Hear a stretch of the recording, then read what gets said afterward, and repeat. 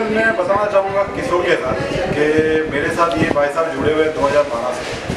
2012 से मैं इनकी पेंटिंग को प्रमोट भी कर रहा हूँ और मुझे बहुत अच्छा लगता है पर्सनली ये पेंटिंग जो लोकोमोटिव लेके वो काम करते हैं। और उन्होंने अपनी हिस्ट्री बताई हुई कि वो पाँच, जब पाँच साल के थे तब से वो ये चीज़ को कर रहे हैं, देख रहे थे। और उन्होंने ये कैनवस भी उतारा, मेरे ख्याल से 2000 साल से 2000 साल से चालू किया इन्होंने अपने कैनवस को उतारने के लिए।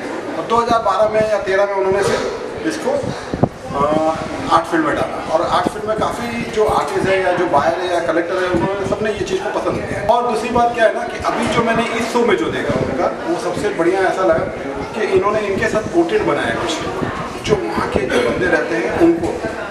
तो वो उनके अंदर लग रहा है कि जान है।